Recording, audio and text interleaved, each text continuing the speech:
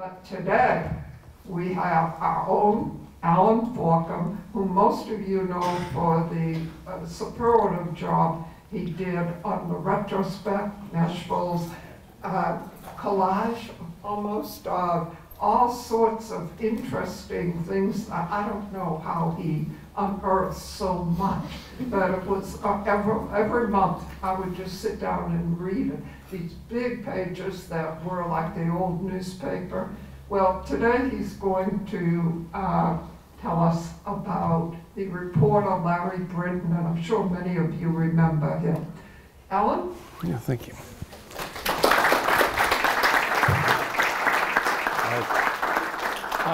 Thanks everyone, and thank you, Jean, for the very kind introduction.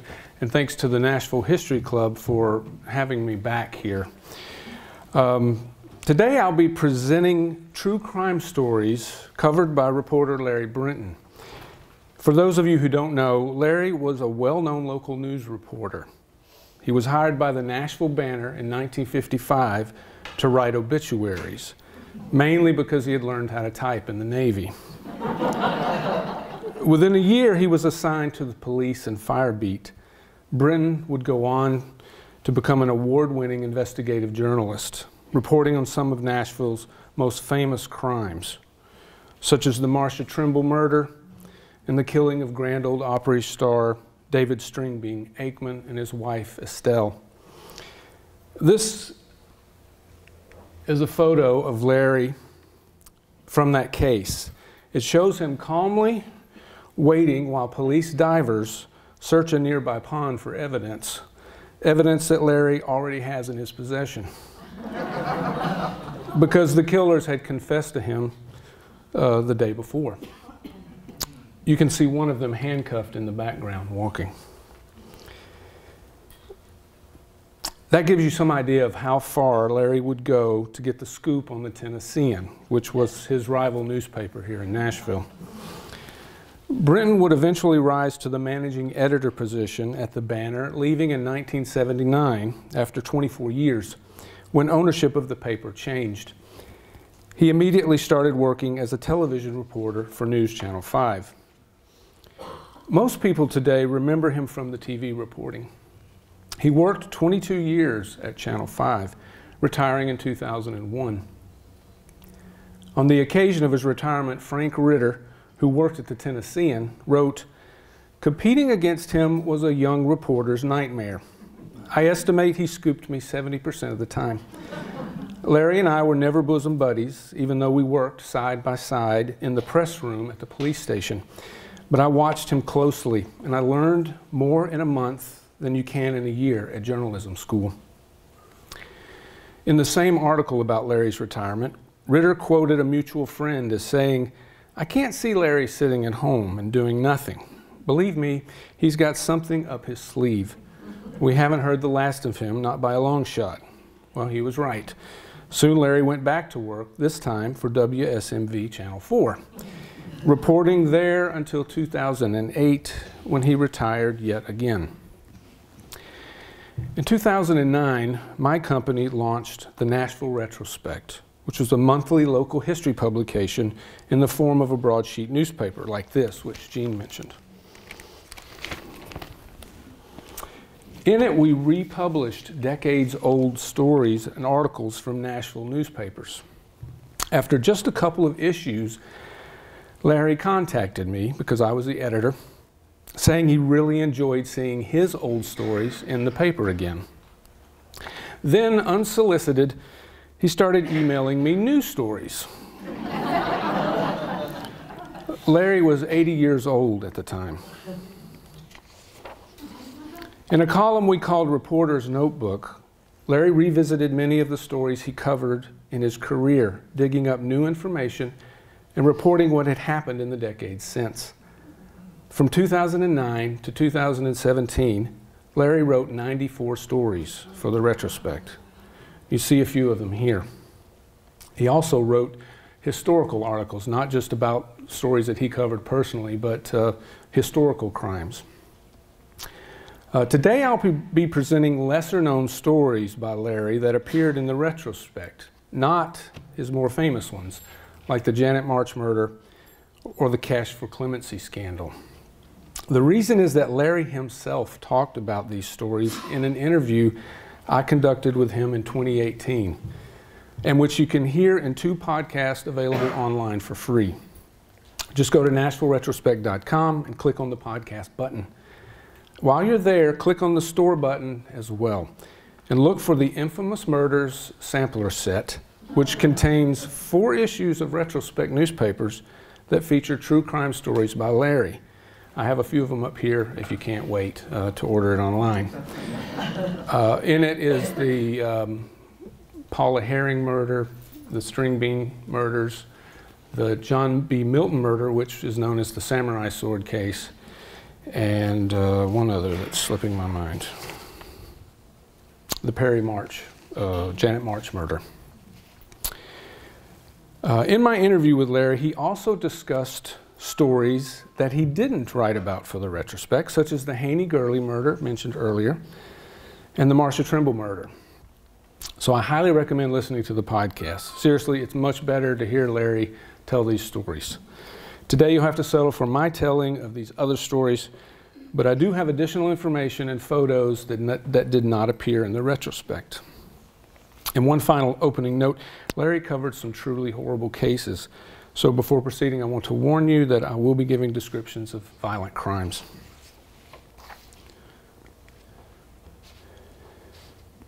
This is the first story Larry sent me. It took place at the Tennessee State Penitentiary. Here's Larry's opening paragraphs. There's not much I haven't seen in reporting news for a half a century in Nashville and Middle Tennessee. That was especially true in the 1950s and 1960s while I was a police reporter for the Nashville Banner. I covered hundreds and hundreds of murders over those years, stepping over and beside victims' bodies just like homicide investigators. Some of those gruesome cases I'll never forget. One of the strangest occurred in 1958. I was at my desk at the police station's press room early one afternoon when I received a phone call from Lynn Bomar, warden of the Tennessee State Prison in West Nashville. So Larry goes on to write that he had gotten to know Bomar because he was the only reporter who would attend early morning executions at the prison. Larry refused to witness the electric chair killings, saying it wasn't his thing. He usually sat with the families, and he found it awful that guards and prison officials could eat breakfast immediately afterwards. On this day in 1958, Bomar told Larry to go upstairs to the records office and pull the file on a prisoner named Paul Payne. This is the file Larry found. Notice that it's an escape record Payne had been incarcerated in 1937 at age 19, then escaped the penitentiary in 1939. The Chattanoogan was part of a gang of teenagers dubbed the Baby Bandits, who were all captured after leaving, as this photo caption put it, a trail of crime through Nashville and five states. Payne was convicted of attempted bank robbery. So Larry took notes from the record and returned to Bomar's office, still not knowing why he was there. He eventually accompanied a group of law enforcement officials through the inside gates to the prison's metal shop. There, standing in a small shower stall, was a prisoner holding a jackhammer. He was ordered to proceed digging up the concrete floor. This was Larry's front page story. He reported that the skeletal remains of a person had been unearthed beneath three inches of concrete and two feet of dirt. You can see bones being collected in a box in the lower left of this picture. Larry opened his 1958 story with this. Three old time state prison inmates who are believed to have witnessed the murder of a fellow prisoner in 1939 were taken to county jail cells early today as protection against further prison violence. These witnesses claim to have seen two prisoners hit Payne over the head and then strangle him. One claimed to have witnessed Payne's burial. Different prisoners gave different reasons for the murder. Payne owed money he refused to pay back, or he got in a fight over a craps game, or he uncovered a prison dope racket. It seemed like the prison mystery had been solved, but there was a problem. Payne had fillings in his teeth and the skeleton didn't. Then a new tip suggested the remains could be that of James Hannah Carn, a trustee who had vanished from the prison in 1944. Carn was known as the Icebox Bandit because when he robbed Nashville area H.G. Hill stores, he forced employees into the refrigerator. But apparently his description didn't match the skeleton either. The grand jury was asked to indict a certain former prisoner for murdering Payne, but they didn't because they weren't even sure who had been killed.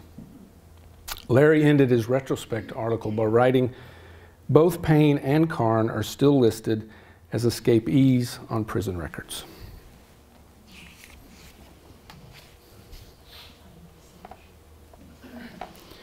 In July 1963, two Metro police officers pulled over a car they suspected of being involved in a hit and run accident. The men in the car pulled guns on the two officers, disarmed them, and sped away. They quickly abandoned their car, went to a random house, and tricked a young man there into giving them a ride. The suspects got away using the victim's car with him still in it. The young man was later released by the gunman in Memphis. Now, this was a big story at the time, and the Tennessean went all out, publishing photos of the suspect's abandoned car, the victim's wives, neighbors, and the scene where the officers had been disarmed, which was on Hillsboro Road at Golf Club Lane. They even drew a map of the, of the escape route. Now, the banner had already been published that day, which was a Saturday, and the banner didn't publish on Sundays. So, unfortunately for Larry, the Tennessean got the scoop. Not only did they have Sunday all to themselves, which was when this appeared, but they had Monday morning too because the banner was an afternoon paper. So on Monday morning, the Tennessean broke more news about the case that one of the suspects had been captured and that the other had been positively identified by witnesses and by police using a mugshot. Here's how Larry opened his retrospect story. James Moore Tidwell climbed out of bed early that Monday morning and headed to his kitchen for a cup of coffee and to read the newspaper. Seated at his breakfast table, Tidwell opened the paper and almost fainted. There on the front page was a photograph of Tidwell taken six years earlier after an arrest. Uh, Larry goes on to say that Tidwell later said his first inclination was to hide, but he knew they had the wrong man, and he could prove it. He was a vacuum cleaner salesman who had been making calls in the Inglewood area the day, before, the day of the crime.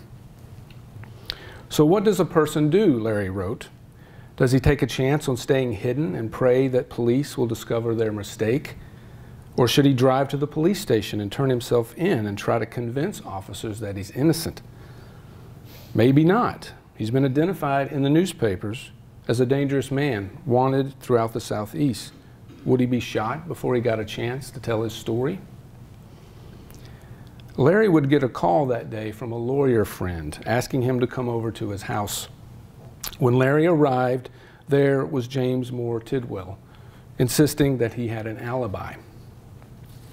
Larry had his doubts because he had heard a lot of alibis over the years, and he couldn't believe the police would make such a huge mistake. So he asked Tidwell to take him to the people he'd talked to on his sales route, and Tidwell agreed.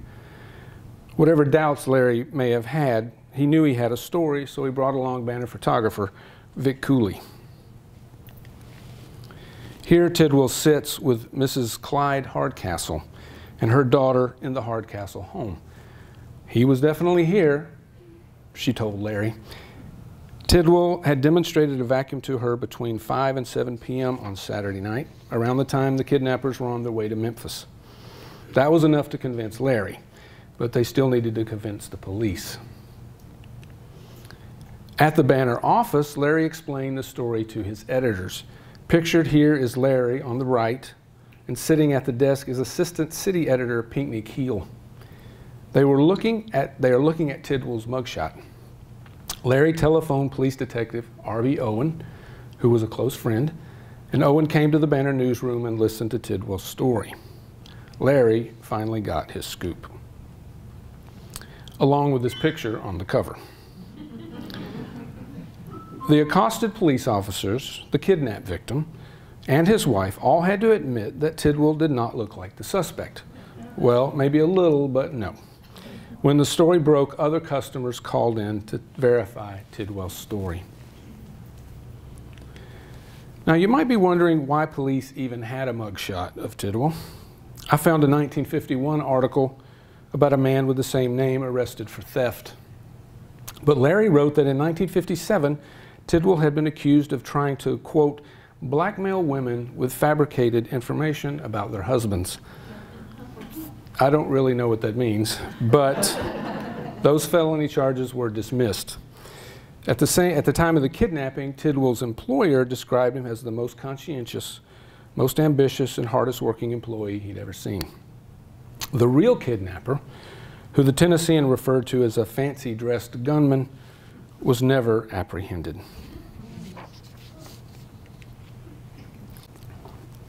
So I know Larry described the prison skeleton story as gruesome, but this next story is by far the most gruesome of his that I've read. It must have been one of Larry's first big crime stories. The victim was 20 year old Willa Lee Norman. Her father, who lived in Elkmont, Alabama, is pictured here when he came to Nashville to make burial arrangements. The crime occurred on New Due West Avenue in Madison. I like to look up the locations of stories to get a better idea of where they occurred, but I had trouble finding New Due West Avenue. Turns out the name of the road had been changed to Due West Avenue North which today runs roughly between Interstate 65 and Dickerson Pike. Here is Larry's opening for the retrospect story. A small group of Nashville police officers were standing near the trunk, open trunk of a car when I drove up.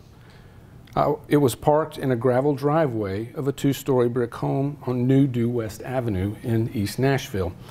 It was a warm Sunday night, July 9, 1956. Visiting me were my brother-in-law, Archie Waldron, and his family of North Attleboro, Massachusetts. I decided he needed a little excitement.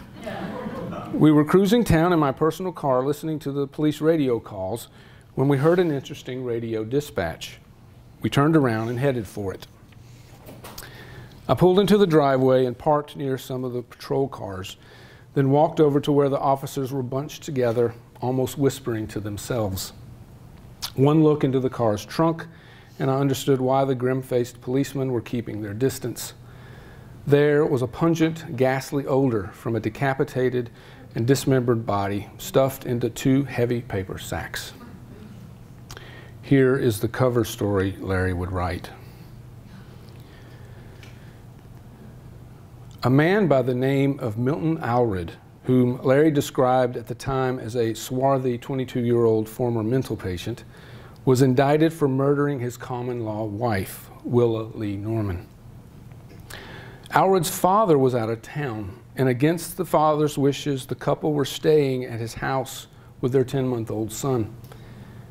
One day, Alred came home drunk, and the couple got into an argument on the front porch, during which Alred said, Norman cut him with a pocket knife. He pushed her off the porch, over the retaining wall, and into the driveway, where he pounced on her, stabbing her in the chest with the same knife and killing her. After tending to their crying baby upstairs, he went back down to the driveway and dragged Norman's body into the garage. The reason Norman was referred to as his common law wife is because he was already married and had two other children. His estranged 19 year old wife told a reporter that after Alred had received shock treatments at Madison Sanatorium, he had bragged he could commit murder and then claimed to be crazy. She had been trying to get a divorce, citing threats by him against her and their children. District Attorney J. Carlton Loser would describe Alred as a sadist and sexually abnormal, which Alred denied while confessing to the murder. Here you can see a funeral attendant spraying chemicals onto the corpse, which had been in the trunk for two days in July. Alred's father had noticed the smell when he came home from vacation and called the police. You can also see the handcuff Alred explaining to police what he had done in the garage. Here's Larry's graphic description of that from his 1956 article. Quote, it was here in the garage, according to Alred's verbal statement, that he began the grisly task of dismembering the body, first with a single edged razor blade and later with a heavy grubbing hoe. Police said the woman's legs had been severed at the thighs, her head had been hacked from the body, one hand had been chopped from the wrist, one breast had been removed, and her chest and stomach had been ripped open. The body of the woman's unborn child was found in one of the sacks, police said. Medical examiners estimate the victim had been six months pregnant. End quote. The crime was so shocking it drew comparisons to past crimes. One was the 1949 murder of 14 year old Marie Price, whose body was found on the banks of Mill Creek in Antioch. A photographer confessed to the murder Found buried in his yard were jars containing parts of her. Another case was the 1941 murder of 69 year old Walter Eubank, caretaker at Spring Hill Cemetery in Madison. He was bludgeoned by the estranged husband of Eubank's girlfriend. While unconscious, Eubank was soaked in gasoline, then set on fire. He woke up and ran through the cemetery, as one newspaper described it, a screaming human torch leaving a trail of burned clothes before collapsing.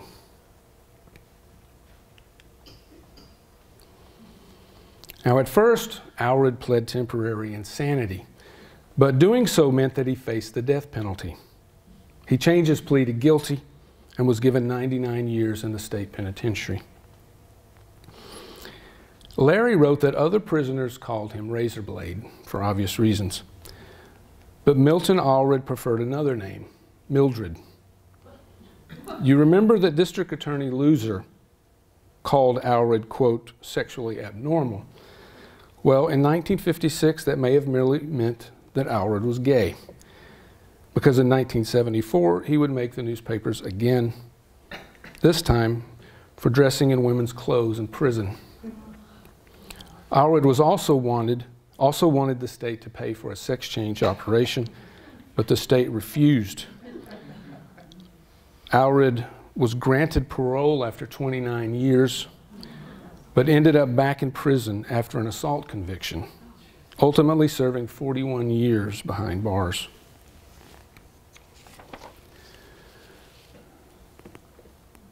Alred died in a Watertown retirement facility in 2017, age 83. At the end of his retrospect story, Larry asked after reporting on hundreds of murder cases over the years, why does the Milton Alred case stick in my mind? Well, I can think of a few reasons. Uh, in addition to witnessing such a grisly crime scene, Larry also rode in the police car with Alred on the way to jail so that he could interview him. Larry even testified at Alred's trial, none of which Larry mentioned in his retrospect article. But what was Larry's reason for remembering? Simple, he wrote.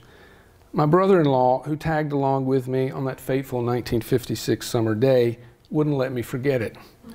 Until his death, he recalled every detail of the murder and brought it up every time we talked.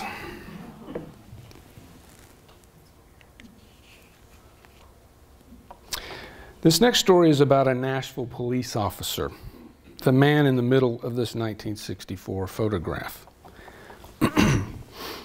From Larry's retrospect article. Metro Police Lieutenant Fred Cobb Sr. joined the Old City Police Department in 1956 and retired after an amusing, controversial, and sometimes frightening career. Ask fellow officers who worked with Cobb for their thoughts about him, and you'll get an assortment of answers. A phony, different, a pretty nice guy, a character, took religion too far, had no middle ground, killer, loved publicity, and more. All these descriptions are correct, so take your pick. Howard, I'm sorry, uh, Cobb first achieved notoriety after becoming a downtown traffic officer who seemed to take a no one is above the law approach, giving traffic tickets to anyone, no matter who they were. Here is Cobb on the right, standing with a General Sessions judge whom he had ticketed for not having a city sticker on his car. the city attorney dropped the case the paper quoted Cobb as saying, I tried to do what was right. Another case involved the city comptroller, who, while complaining to Cobb about the lack of downtown parking, used the word damn. Cobb claimed he said goddamn. Because of the profanity, Cobb arrested the city comptroller for disorderly conduct, but the charge was thrown out. Cobb's comment to the newspaper, I just did what I thought was right. The Tennessean dubbed Cobb a one man scourge of officialdom. Cobb even gave tickets to his fellow officers. Here's a 1964 story by Larry about Cobb ticketing two meter maids illegally parked outside of a restaurant. From Larry's report, and to add the frosting to the cake, tra traffic officer Cobb casually ate lunch with the two meter maids after issuing the tickets and without informing them of what awaited when they returned to their scooters.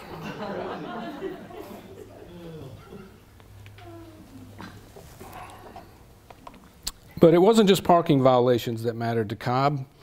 From Larry's retrospect article, Cobb got a lot of attention in 1964 when he appeared as a federal court witness testifying against Morgan Smith, a rough and tough talking Metro police sergeant accused of income violations. Uh, Larry wrote, Cobb told the jury that Smith's reputation was, quote, would be that he has taken money from almost every law violator. Cobb also admitted that he had never seen the officer accept money. Smith was convicted and received a prison term. Now, given this story, it's a little tempting to think that we could use more cops like Cobb, but there's more. In 1956, Cobb was driving down a road in the Whites Creek area when he saw two stray dogs. He got out of his car and shot them, killing, killing one. The problem was they weren't stray dogs. They were on the property of their owner, a 14 year old girl. Cobb apologized to the sobbing girl, and her mom left and came back with a new puppy for the girl. However, when he noticed mange on the tip of the puppy's tail, he pulled out a pocket knife and cut it off. At the time I did this, Cobb said, I thought I was doing right. A year later, Cobb thought he was doing right again, but this time it would put him in the national spotlight. On a July Sunday in 1966, Cobb entered the Crescent Theater downtown and arrested the manager on charges of violating obscenity laws by showing the movie Who's Afraid of Virginia Woolf. Cobb also confiscated the, move, the film from the projectionist during the middle of a showing, then announced to the crowd from the stage that they should get a refund. What was so bad about the movie? The previous night, Cobb had taken his wife there to see the film. During a boozy argument scene, Liz Elizabeth Taylor says the words, God damn you. Cobb said the movie also made fun of evangelists like Billy Graham. It was a disgrace, he said. I couldn't rest easy without doing something about it. So the next day, Officer Cobb, who was a Baptist deacon and a Sunday school teacher, got a warrant and did something about it. I represent the thinking of the good people of this town, Cobb explained. I'm very sensitive about profanity. I know a man doesn't have the power to damn the Lord.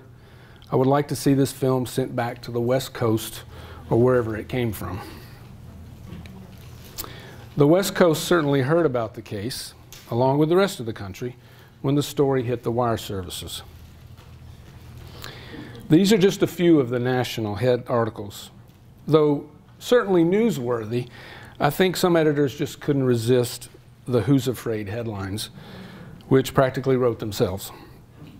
Tennessean editor Harry Hahn said the national coverage was regrettable, writing, It is such inane furor that give fuel to the so called Southern stereotype of being provincial and past tense. The particular injustice to Nashville is that this is not a community voice speaking. Rather, it is a self appointed one man censorship board who has taken it upon himself to talk for the community. In a matter of days, Police Chief H.O. Kemp dropped all charges and returned the confiscated film, saying that Cobb had made a mistake. It turned out the ordinance against obscenity cited by Cobb on the warrant only applied to live performances, not to movies. Interestingly, the original play version of Who's Afraid of Virginia Woolf had previously been performed in Nashville a number of times without controversy, including in a church. Despite this, hundreds of protesters showed up at Crescent Theater to show support for Cobb, who had become a moral, moral crusader to many.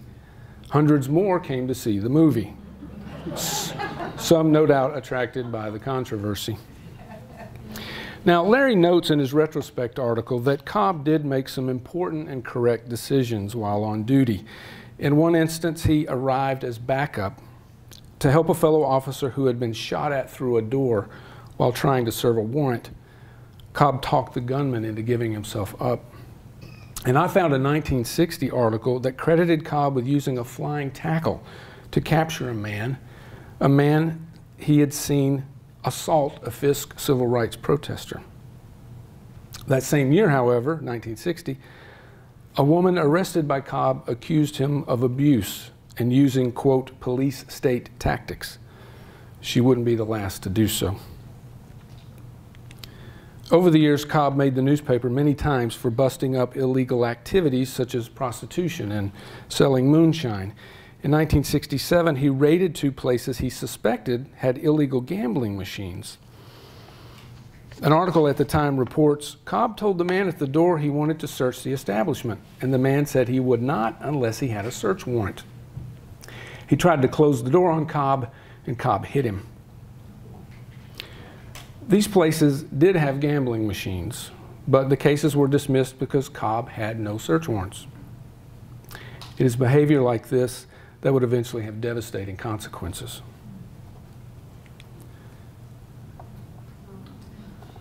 In February 1981, Cobb was helping a fellow officer investigate a murder. Specifically, they were looking for a murder weapon. They, had already, they already had the suspect in custody, they even had a weapon, but they were looking for another weapon. In the pocket of the arrested suspect, they found a key to a hotel room in East Nashville. So the officers went there to have a look and came up empty, empty-handed. But the hotel desk clerk said he had seen a man matching the suspect's description use another room. So he gave Cobb the room number and a pass The officers said they banged on the door and loudly announced they were police. When no one answered, Cobb, armed with a shotgun, used the pass key and opened the door, which was stopped by a latch chain. Through the narrow opening, Cobb saw a man in bed reach under the mattress and pull out a handgun. Cobb fired immediately, hitting the door chain and sending buckshot and shrapnel and metal fragments into the small room.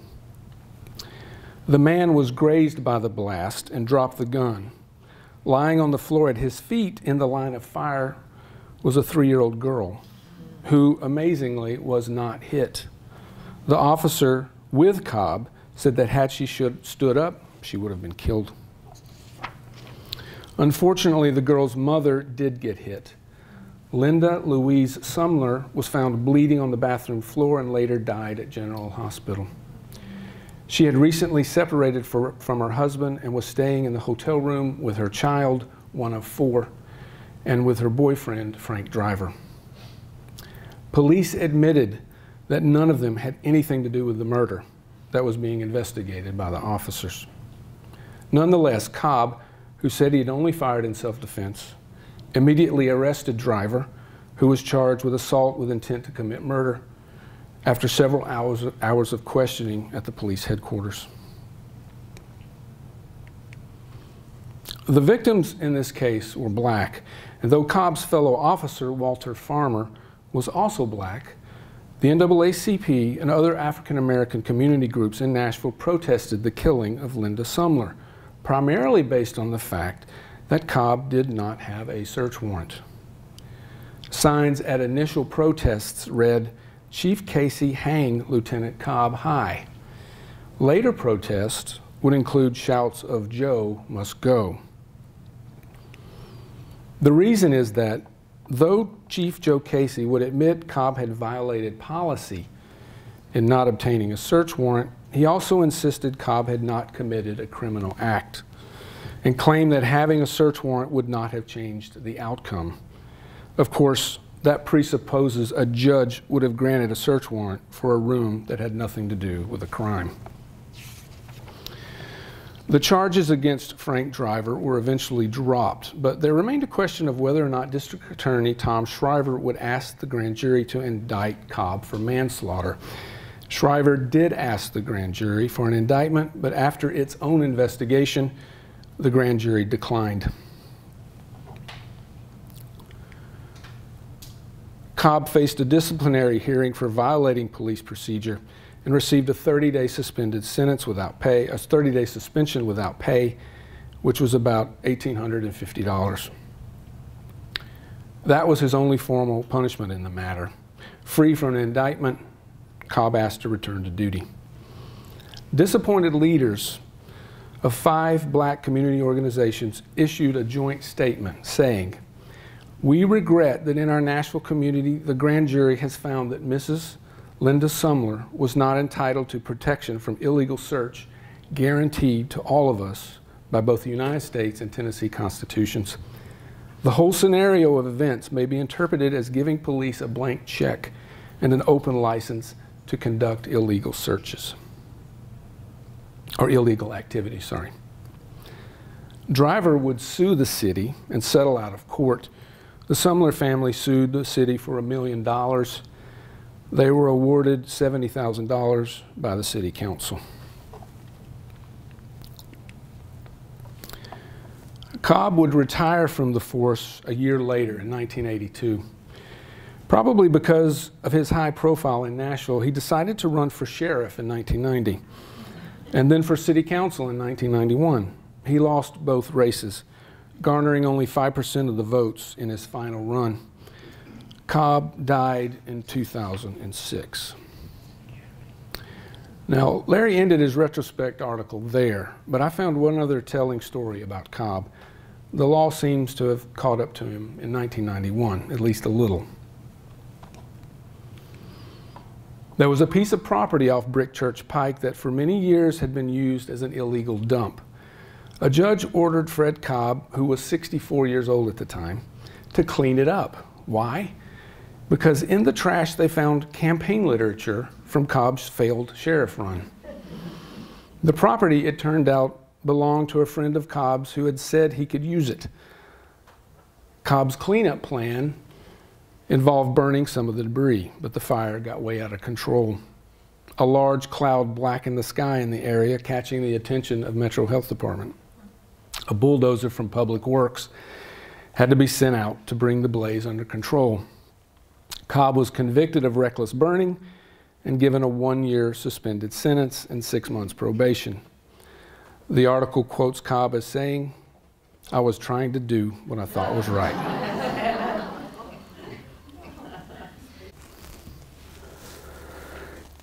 this final story is also the final story that Larry sent me. I like, and, and like the very first story he sent me, eight years earlier, he included a mugshot.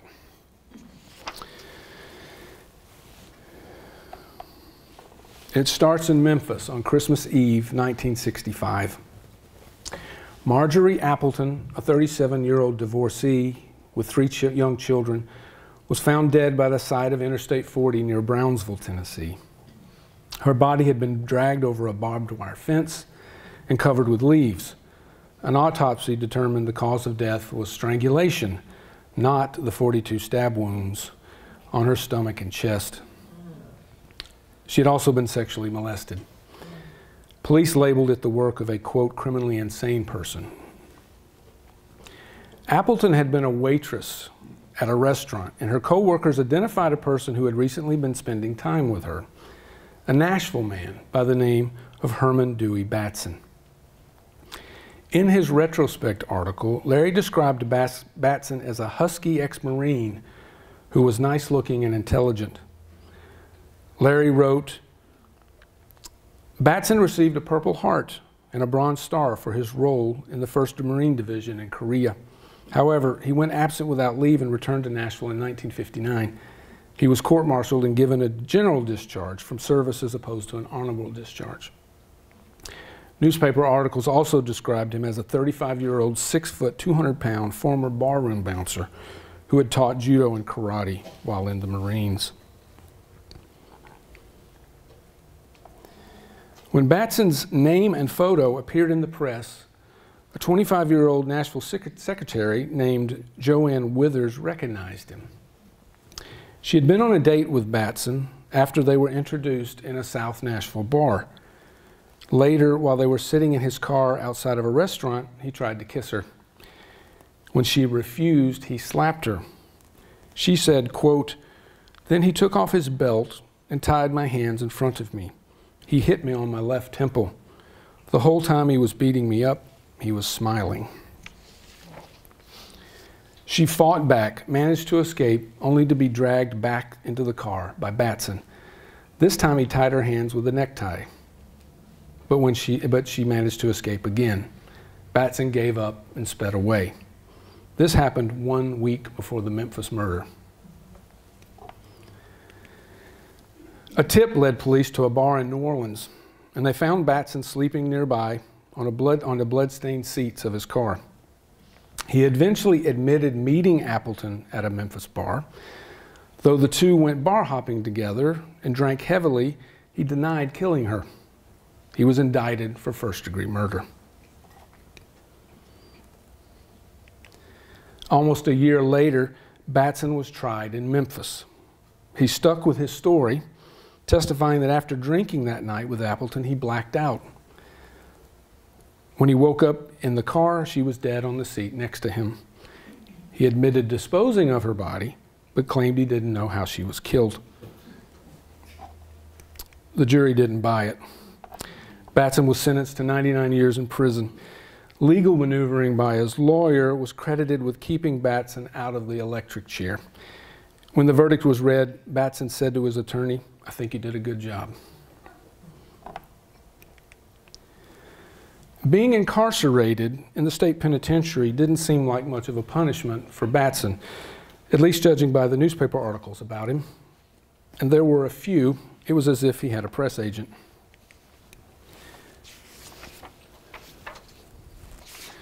He was quoted and photographed for a Tennessean article about prison life complaining that he had only received counseling twice due to lack of prison employees. He was featured in an article about the University of Tennessee Nashville's College Within the Walls program. The article says that inmates like Batson, with exemplary records of behavior, lived without res the restriction of locked cells. Batson, who had a perfect 4.0 grade average, said, you are not as conscious of being in prison as someone would be if they were not in the college program. He made the newspaper again in 1975 when he was one of the first two students to graduate from the prison college program. Batson earned an Associate's of Arts degree with the highest honors. And that degree probably came in handy because a year later, Batson was no longer in prison.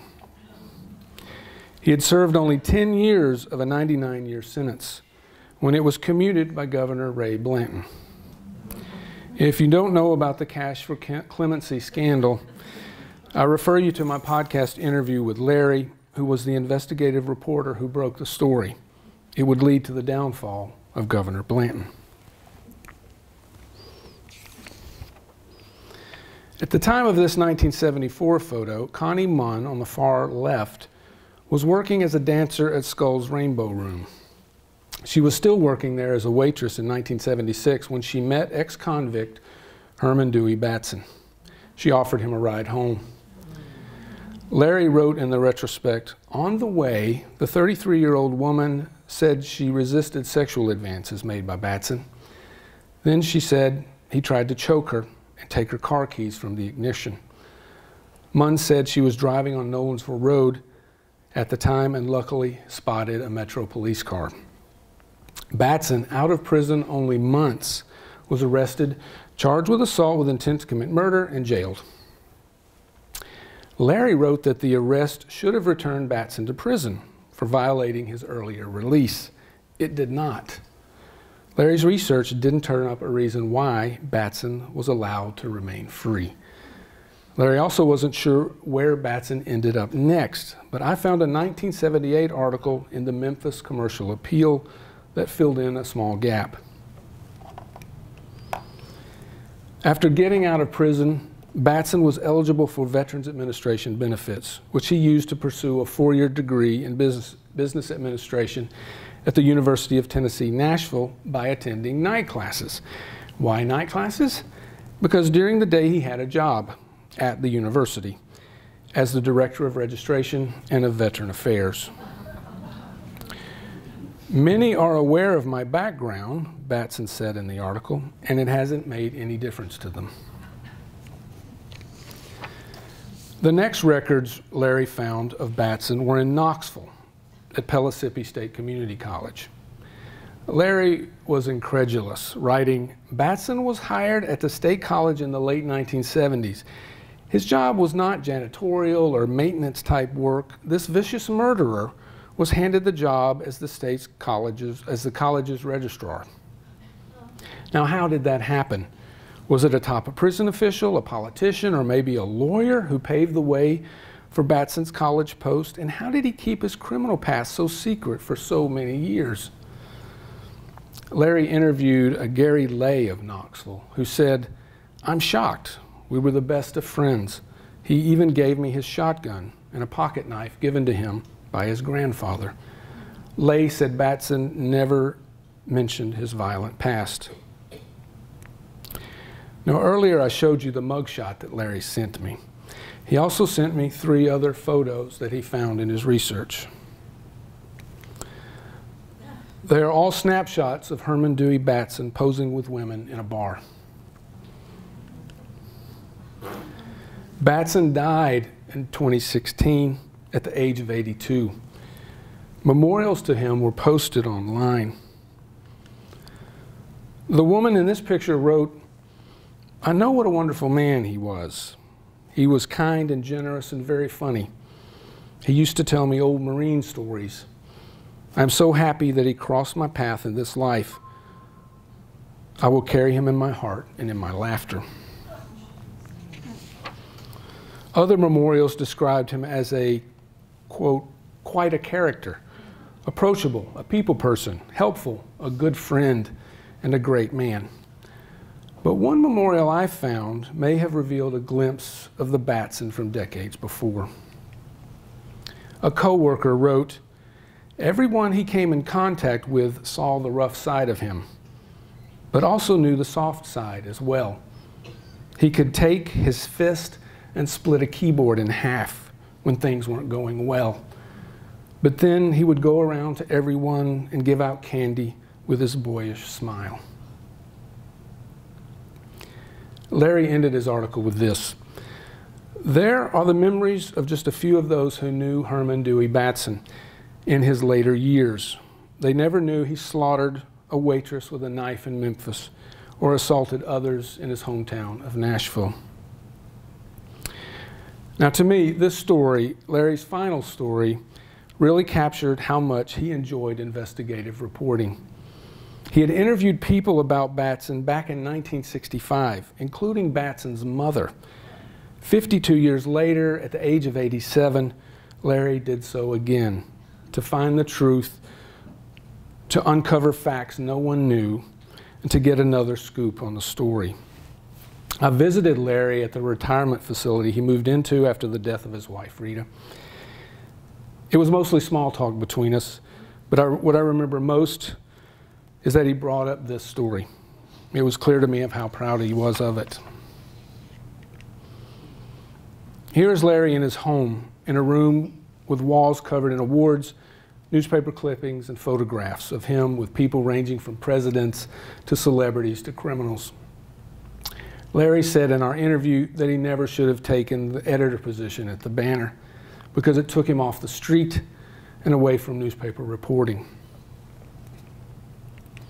I was very fortunate to have worked with Larry, even if it wasn't in the hustle and bustle, dog eat dog world of daily newspapers. I like to think the retrospect gave Larry one more chance to do what he loved. He died on July 25th, 2019. Frank Ritter wrote in his article about Larry No one could do the police beat, the cultivation of sources, the chasing down of news like Larry Brinton could.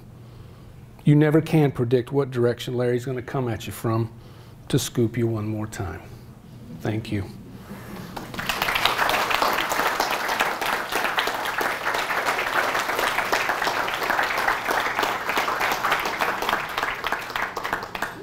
Suppose there's a little time for questioning. If questions, if anybody, I say questionings like I'm being interrogated. Yes, sir. I think there was a real failure in police enforcement and the judicial system during that time. I mean, was that? Well, yeah. about that? I, you know, Larry wrote an article uh, for the retrospect called uh, Criminal Justice Way Back When, where he talked about some of that. And Larry saw police abuse. He wrote about it and talked about uh, after the bombing of uh, Looby's home, um, some suspects were rounded up, and Larry overheard that they were going to be given a lie detector test. And he thought, well, they, we don't have a lie detector. He knew they didn't have a lie detector. Well, he walked by a door where they were had one suspect laid over a table and were beating him with a paddle, which was the lie detector. And they, of course, they never could, they were innocent. No, no one was ever convicted of, of those crimes. So, yeah, it was, I don't know how you would sum it, sum up the, how it was, how, how, how iffy it could have been. I To, mean, Clearly, the racial element there. yeah, definitely. I mean, there's lots of stories about that. Um, you know, that was, of course, that was 1980. That wasn't that long ago. And we hear stories like Breonna Taylor in, I think it was Missouri. Louisville, you know, similar thing where police bust in on a room they had no business being in. And so it's, it's not like that's gone away. Hopefully it's better. But, um, but yeah, it, it, was, it was bad. Yes. Kind of share a, a personal story about Larry Brinton. This is, he apparently was a person of many facets and good ones. Um, I just remember watching him on TV. I don't remember his, his uh, dates in the newspaper, but one time I was, I think it was about 2010, around the time we had the, uh, the big flood. I was waking up from surgery at a Nashville hospital, and first thing I did when I woke up, I saw this smiling face leaning over me and said, well, are you feeling better now? Can I get you some magazines or whatever? And it was Larry at my wife and I'm going, did I die and go somewhere? this, this can't be him. He has been out of circulation. I said, are you Larry Brinton? I said, that's me. And he said, and I said, what are you doing working here? And he volunteered at Yep. St. Thomas West, uh, going around just talking with people, and I'd Yep. never seen that side of him, and I, I wasn't really a fan of him until that time that I became a biggest fan after that. But he apparently was very gracious and, and liked being around people enough that he would volunteer in hospitals, going Yeah. around, as they used to call them, candy stripers. Right. Yeah, I think. anything, and, and so. I think he would, did that for many years. Uh, he, some of his family is here and would know more about that. But yeah, he was, he was just a very interesting character. I mean, I like some of the stories that stand out to me was well the the uh, you need to listen to him tell the Stringbean case story because that is just amazing. He got he convinced photographer Jack Gunter to go swimming in this pond and find this satchel that had evidence. Now they at the time had with them uh, Sherman Nickens with Metro Police, so they were doing under this all under the uh, eyes of a police officer. So it's not like he was you know tampering with evidence, but it was very iffy. Uh, he said they asked him not to do anything like that again. Uh, and he also tells the story of how competitive he could be, where uh, the National Enquirer was in town, and I think they were trying to cover Elvis at a hotel or something. At one point, they go into the hotel, and while they're there, Larry went and let the air out of the car, the tires of their car, so that they could go somewhere else. So he was, he was very competitive, but at the same time, uh, he, so, uh, he tells the story about, um, I think it was a cerebral palsy charity, that um, there was suspicion, suspicion about what they might be doing with funds. So he asked the editor, hey, should I'm going to go investigate him. The editor said, sure. So he goes, investigates it, finds out his own editor was taking money from them, and uh, reported it. And so the editor had to give the money back, and uh, the, the charity got in a lot of trouble. So he wasn't afraid to, to reveal a lot uh, uh information about even his own colleagues if, if it was part of the truth. Yes, ma'am. Um, A friend of mine said to me that they didn't like Larry Bridgen and could never like him because when he was reporting on the Janet March killing, he denigrated her in the press. And I'm wondering if really he was just recording what Perry said to him and printing that.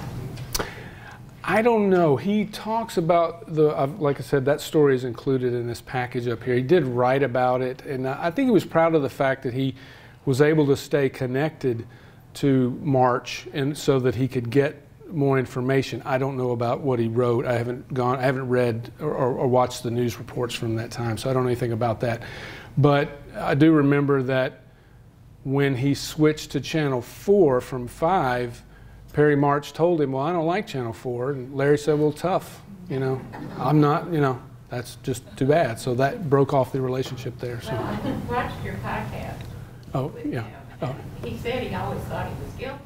Yes, yes, yeah, and, and he, know, he's, he, he, he's mentioned a few things to me like that over the years. Like I really wanted him to write about the Marcia Trimble case and the uh, Haney Gurley case, but he never did. But he, he did talk about it in the interview, so you can hear him at least say something about it. But I think he felt like those had been covered so well already by other media like Nashville Scene and and and the news and documentaries and books. I felt like he didn't think he could add any anything to it.